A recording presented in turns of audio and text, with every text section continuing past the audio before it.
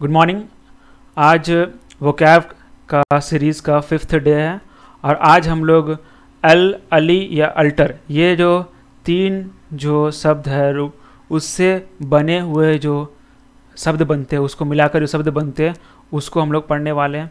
तो यहाँ पर अल, अली या अल्टर, इसका मतलब होता है अदर या फिर अनदर अदर या फिर अनदर चलिए तो शुरू करते हैं, इसी को हम लोग आज पढ़ना है। अल अली अल्टर से रिलेटेड शब्द। तो पहला शब्द हमारे सामने है अलियास। ठीक है? अलियास। एलियास जो एलियास जो है, अलियास जो है, ये एक तरह से इसको हिंदी में बोलते हैं उपनाम। उपनाम बोलते हैं। ठीक है? उपनाम। यहाँ, वहाँ पर, यहाँ पर जो अल है और ये अली जो है, यहाँ पर इसका मतलब होता है अदर। ठीक है? Other name. अदर नेम इसको उर्फ़ उर्फ़ के रूप में भी लिया सकता है। उर्फ़ या उपनाम। होता है ना किसी किसी का एक मेन नेम कुछ और है, लेकिन उसको कुछ और नाम से भी जाना जाता है। उसको कुछ और नाम से भी जाना जा सकता है। जैसे कि मान लीजिए आपका जो मुंशी प्रेमचंद जी हो गए। जैसे कि उनका नाम धनपत राय था। तो धनपत राय उर्फ़ या एलियास, क्या? मुंशी प्रेमचंद या प्रेमचंद। तो एलियास मतलब उपनाम को बताने के लिए, उपनाम का ही इंग्लिश वर्ड हो गया। एलियास। उर्फ़ उर्फ़ जहाँ इस्तेमाल करते हैं ना उर्फ़ का मतलब ये हो गया एलियास, ठीक है? एलियास किसी दूसरे नाम को बताने के लिए, किसी सेम व्यक्ति का दूसरा उपनाम को दर्शाने के लिए एलियास का इस्तेमाल करते हैं। आगे बढ़ते हैं, अब है अलीबी।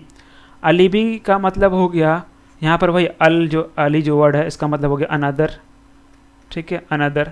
इसी से बना है अलीबी। इसका मतलब होता है बहा, एक तरह से बहाना के रूप में इसका इस्तेमाल करते हैं। बहाना के रूप में इसका इस्तेमाल करते हैं। इसको बोलते इसको बोलते हैं जैसे कि आप किसी जगह पे आपको कोई इवेंट में बुलाया गया, लेकिन आप नहीं गए और बोले क्या कि हम उस समय किसी और जगह पे थे, इस वजह से वहाँ नहीं पहुँच पाए। तो इसी चीज़ को बोलते हैं क्या? एक तरह से अलीबी बोलते हैं। मतलब घटनास्थल पर अनुपस्थिति, अनुपस्थित होने का जो कारण दिया जाता है, उसी को बोलते हैं अलीबी इसी का सिनोनिम्स हो गया क्या? आप जस्टिफिकेशन दे रहे हैं जस्टिफाई कर रहे हैं खुद को कि हम वहाँ पर नहीं आ पाए क्योंकि हम किसी और जगह पर थे। तो वही जस्टिफिकेशन जस्टिफिकेशन ही एक तरह से अलीबी कहलाएगा। अलीबी का मतलब हो गया जस्टिफिकेशन ठीक है?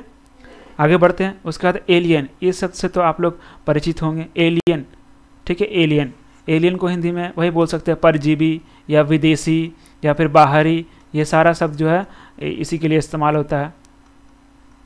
इसी के लिए इस्तेमाल होता है एलियन तो ये भी जो अली है, अल, इसी शब्द से आया, बाहरी शब्द से आया। यानी कि कोई अजनबी चीज़ को भी हम लोग एलियन बोलते हैं। मतलब जो अदर है स्ट्रेंज है फ्राइटनिंग है या डिफरेंट है, जो हम लोग के आसपास जो सेम चीज़ हो रहा है, उससे हट के है डिफरेंट है, उसको बोलते हैं एलियन जैसे कि मान लीजिए, आप इन, कोई एक पर्टिकुलर क्षेत्र है कुछ चीज़ कोई व्यक्ति रह रहा है, कोई दूसरे क्षेत्र से व्यक्ति आ गया वहाँ पर तो यहाँ पर रहने वाले ए में रहने वालों के लिए अगर बी से कोई व्यक्ति आया तो ए वाले के लिए बी क्या हो गया? एलियन हो गया। उसी प्रकार से ए का व्यक्ति बी में जाएगा।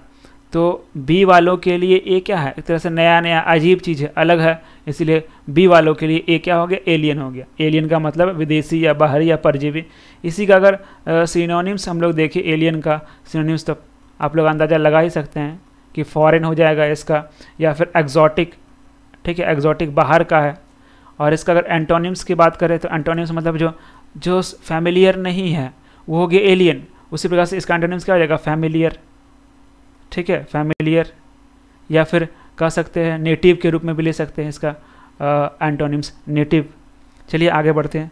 अगला शब्द है एलियनेट एलियनेट यहाँ पर भी शब्द है एलियन अली अली का मतलब क्या हो गया?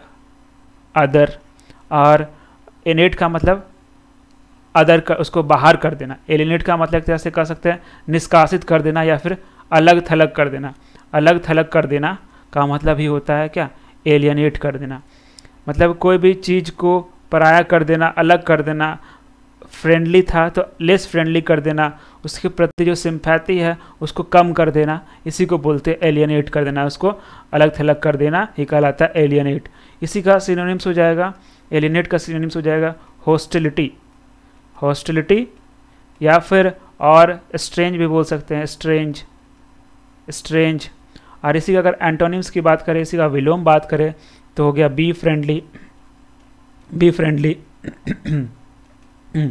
be friendly तो एलिनेट का मतलब हो गया अलग थलग कर देना, पराया कर देना अभी इसका उल्टा हो जाए क्या? फ्रेंडली मैत्रीपूर्ण हो जाना, मित्र बन जाना। तो ये एलिनेट था।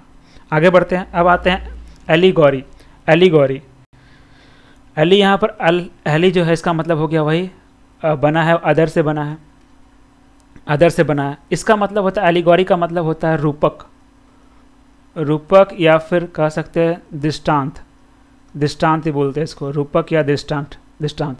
इसका मतलब होता क्या होता है, ऐसा कोई भी हम लोग एग्ज़ाम्पल छोटा सा कहानी सुनाते हैं ना लोगों को, जिसमें अच्छाई, बुराई को समझाने के लिए, कोई अच्छाई, बुराई, सच्चाई, ये सब चीज़ को समझाने के लिए कोई छोटा छोटा कहानी सुनाते हैं, जैसे हो गया नीति कथा प्रतीक कथा यानी मोरल स्टोरी जो होता है ना मोरल मतलब ऐसा स्टोरी जिसमें लोगों को मोरलिटी के बारे में बताया जाता है। तो वो जो कहानियाँ जो होता है छोटा छोटा कहानियाँ, उसी को बोलते हैं क्या? एलिगोरी बोलते हैं, ठीक है? एलिगोरी बोलते हैं। कोई इसी चीज़ को समझाने के लिए इसका इस्तेमाल करते हैं, इसी को बोलते हैं एलिगोरी एलिगोरी का मतलब हो गया रूपक या दृष्टांत।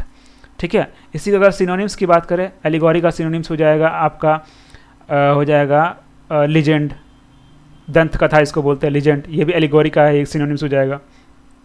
फिर अपोलॉग एपोलॉग भी जो है एलिगोरी का है सिनोनिम्स हो जाएगा। तो याद रखना एलिगोरी का मतलब हो गया प्रतीक कथा नीति कथा रूपक दृष्टांत ये हो गया एलिगोरी इसमें हम लोग अच्छाई बुराई जैसे चीज़ों को समझाने के लिए कुछ छोटी छोटी जो कहानियाँ होती है, उसी को बोलते हैं एलिगोरी अब आते हैं अल्टर ईगो अल्टर ईगो इसका हिंदी मतलब होता है जिग एक तरह से जिगरी दोस्त टाइप का इसका मतलब हो जाएगा। अल्टर ईगो मतलब जिगरी दोस्त, या फिर कह सकते हैं अतरंग मित्र अतरंग मित्र।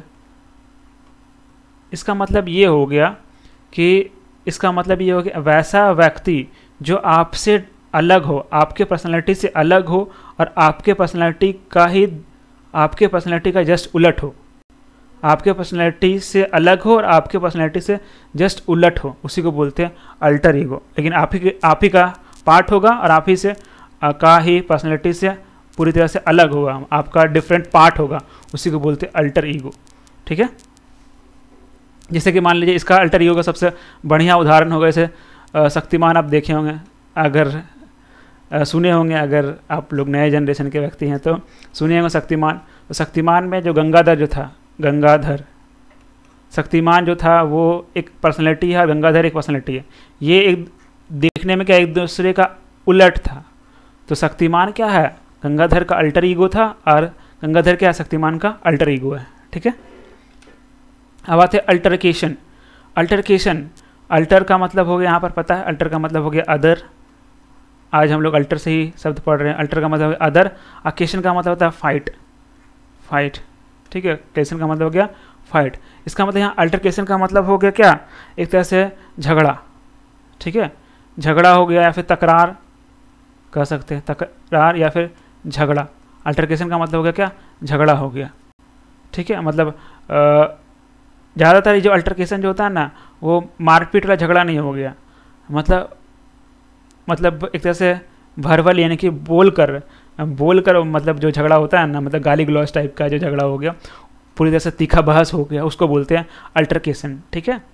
मतलब वो मारपीट वाला हाथ पैर चलने वाला अल्टर जो फाइट नहीं है मतलब तीखा बहस वाला जो झगड़ा होता है, उसी को बोलते हैं अल्टरकेशन इसका सिनोनिम्स हो जाएगा क्वारल ठीक है? क्वारल ले सकते हैं क्वारल में लेकिन, ठीक है? क्वारल जनरली हाथ पैर भी चल जाता है, लेकिन यहाँ पर अल्टरकेशन में हाथ पैर नहीं चलते, ठीक है? क्वारल सिनोनिम्स में ले सकते हैं। इसी का उल्टा क्या हो जाएगा? एंटोनिम्स हो जाएगा इसका अकॉर्ड अकॉर्ड का मतलब क्या होता है? संधि. अकॉर्ड हो जाएगा. झगड़ा हो गया, संधि कर लिया अकॉर्ड हो जाएगा। और अगर उसके अल्टरनेटिव में बात करें तो एग्रीमेंट एग्रीमेंट भी आएगा इसी का एंटोनिम्स में। और कनकॉर्ड भी कॉनकॉर्ड भी जो आएगा, इसी का एंटोनिम्स होगा। आगे बढ़ते हैं। आगे है अपना अल्टरनेटिव अल्टरनेटिव यहाँ पर अल्टरनेटिव भी शब्द से आप परिचित होंगे। अल्टरनेटिव का आ, मतलब होता है विकल्प विकल्प। ठीक है? विकल्प। अल्टरनेटिव का मतलब होता है विकल्प या वैकल्पिक कह सकते हैं। इसका सब्सटीट्यूट हो गया इसका मसीनोनिम्स हो गया सब्सटीट्यूट सब्सटीट्यूट ठीक है? इसका अल्टरनेटिव जैसे कि मान लीजिए कि उदाहरण के रूप में ले सकते हैं कि आपके पास मान लीजिए पेन नहीं है। फ़िलहाल पेन नहीं है, लेकिन पेन मतलब लिखने के लिए आपके पास पेन नहीं है तो आपके पास उसका कोई दूसरा तरीका है लिखने के लिए पेंसिल से लिख सकते हैं। तो यहाँ पर जो पेन का जो अल्टरनेटिव क्या हो गया? पेंसिल हो गया। तो इसी प्रकार से जो दूसरा जो विकल्प होता है, उसी को बोलते हैं अल्टरनेटिव ठीक है? जैसे आपको कहीं जाना है, आपके पास जाने के लिए साधन नहीं है ट्रांसपोर्ट के लिए बाइक या कुछ कार वगैरह नहीं है तो आप पैदल चले जाओ तो क्या हो गया? वो जाने के लिए अल्टरनेटिव क्या हो गया? पैदल जाना, ठीक है? अब आते हैं अल्ट्रोइस्ट अल्ट्रोइस्ट का मतलब होता है परोपकारी। परोपकारी। अल्ट्रोइस्ट का मतलब होता है परोपकारी। ठीक है? अल्टर का मतलब होता है अदर और अल्ट अल्ट का मतलब अदर हो गया और यहाँ पर रुइस्ट का मतलब होता है एक तरह से मदद करना।